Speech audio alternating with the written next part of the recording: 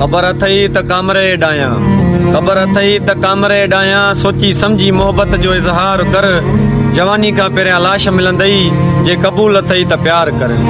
बाग़ी आहियां बग़ावत रखां थो हिन रियासत खां